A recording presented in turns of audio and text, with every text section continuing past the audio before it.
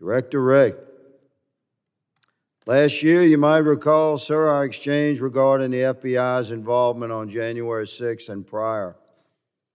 I'm happy to jog your memory to quote, according to the record, I asked you, did you have confidential human sources dressed as Trump supporters positioned inside the Capitol on January 6th prior to the doors being opened?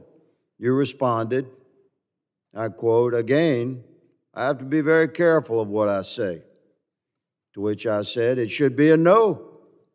Can you not tell the American people no? We did not have confidential human sources dressed as Trump supporters positioned inside the Capitol on January 6th. A year has passed.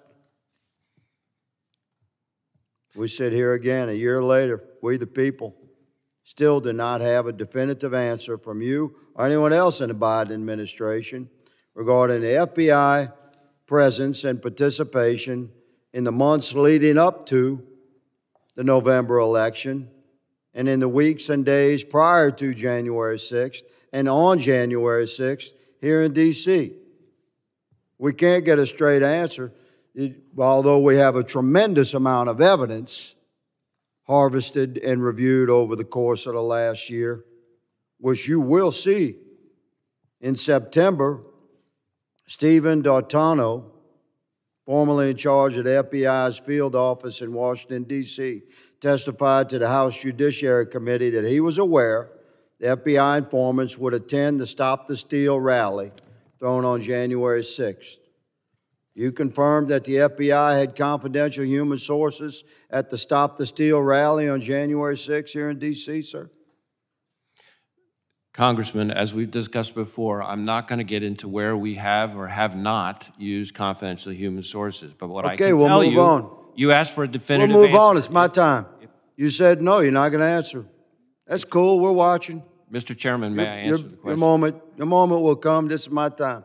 Earlier this year, an FBI informant who is reported to have, quote, his quote, under oath, marched to the U.S. Capitol with fellow Proud Boys members on January 6th, close quote.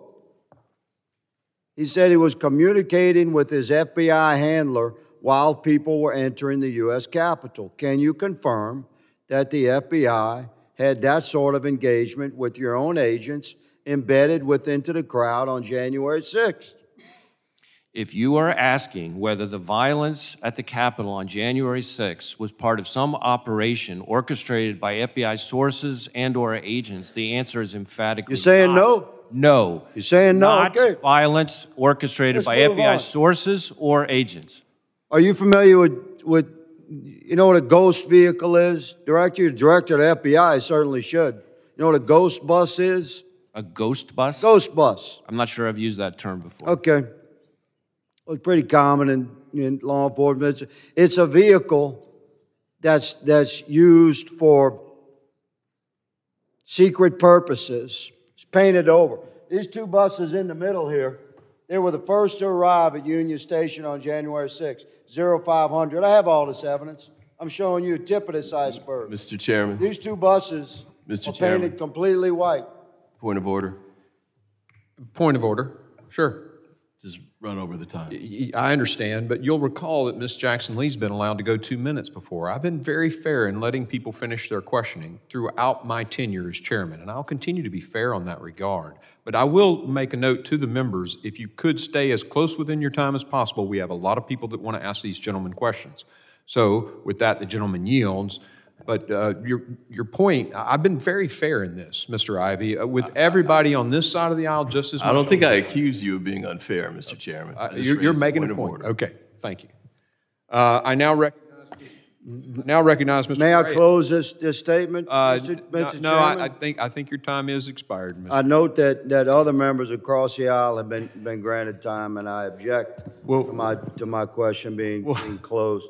This is a very significant hearing, Mr. Chairman, and these buses are nefarious in nature and were filled with FBI informants dressed as Trump supporters You- and you- deployed onto our Capitol on January 6th. you made- Your you day is coming, you made your Mr. Wray. point, Mr. uh, Higgins. I